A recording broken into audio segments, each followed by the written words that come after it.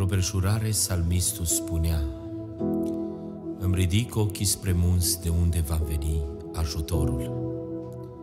Ajutorul meu vine de la Domnul, care a făcut cerurile și pământul. În împrejurarea în care salmistul scrie salmul acesta, îmi place să cred că salmistul e undeva jos în vale – își ridică ochii din vale înspre ceruri și pune o întrebare, de unde îmi va veni ajutorul? Poate te găsești pe un pat de suferință, poate ești căzută sau căzut la pământ, poate ți-ai pierdut valorile care altă dată Dumnezeu te-a îmbrăcat cu ele – Poate lupta pe care a dat-o diavolul în dreptul ființei tale te-a trântit jos, ești în vale și nu te mai poți ridica. Omul lui Dumnezeu, salmistul, spunea, îmi ridic ochii spre munți, de unde îmi va veni ajutorul? Și îmi place să cred că în momentul în care acest om se roagă lui Dumnezeu, primește o înștiințare, o profeție de la Dumnezeu și spune ajutorul tău, ajutorul meu, ajutorul nostru vine de la Domnul care a făcut cerurile și pământul. Dacă lupta te-a trântit la pământ, dacă nu te mai poți ridica, Singura izbăvire care te mai poate ridica este să te mai uiți în sus. Oricât de trântit ești, oricât de mare e lupta împotriva ta, oricât de greu crezi că este locul în care te găsești, Hristos are puterea să-și întindă mâna după tine. Într-o prejurare, Domnul a intrat într-o sinagogă și când Domnul a intrat în sinagoga aceasta, oamenii se uitau la o femeie bolnavă. Bolnavă era gârbovă. Și în boala ei și neputința ei, oamenii se uită la ce izbește ochiul. Uneori oamenii te cântăresc sau te judecă după ceea ce văd. Cel ce are puterea să vadă mai mult decât omul poate să vadă, are ochii lui Dumnezeu. Sunt ochii celui prea înalt care pătrund până dincolo de țesuturile cărnii unde este o inimă și e întocmită de mâna lui Dumnezeu. De aceea spun, oamenii priveau la femeia aceasta cu dispreț, cu milă.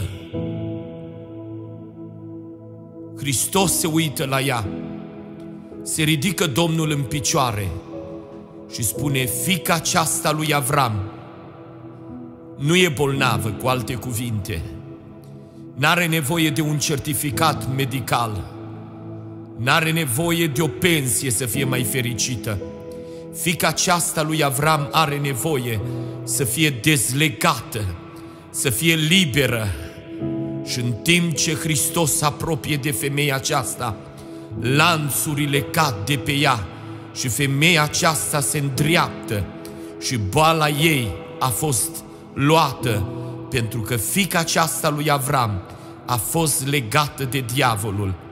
Dacă potrimnicul te-a legat în vreo luptă, dacă potrimnicul te-a legat în vreun viciu, dacă potrimnicul te-a legat cu un duh care nu mai poți să scapi, te rog, Uită-te în sus de unde îți vine izbăvirea, căci dacă vei privi în sus dincolo de nori, e o mână puternică a lui Dumnezeu care te poate salva.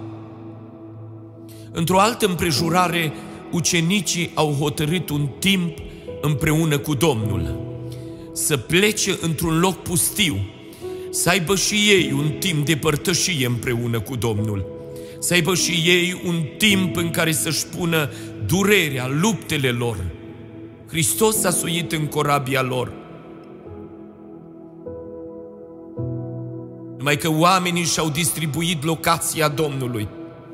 numai că oamenii au urmărit pe unde merge Domnul, numai că oamenii s-au interesat de Sfântul și Sfântul era cu ucenici într-o corabie.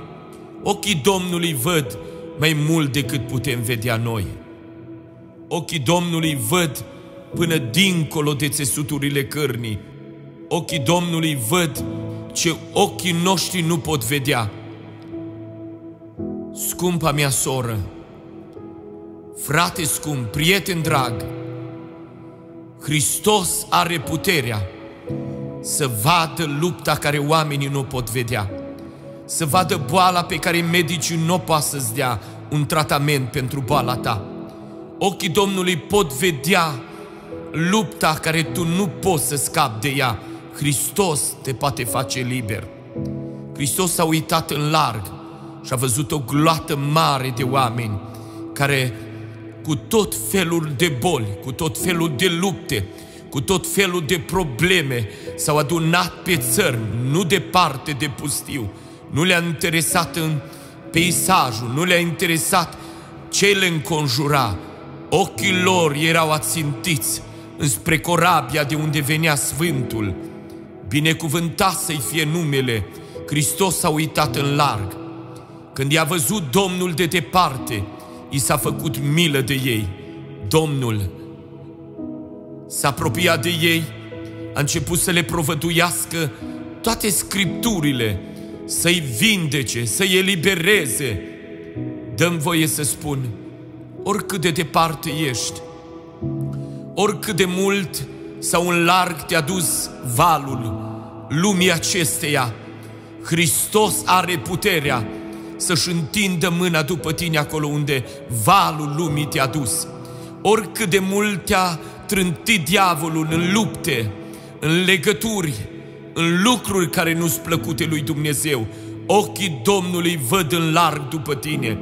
De aceea dacă mă auzi astăzi, poate ești la capătul puterilor, Hristos îți vorbește, El are puterea să te ridice de jos, El are puterea să-și întindă mâna după tine, binecuvântat să fie Domnul.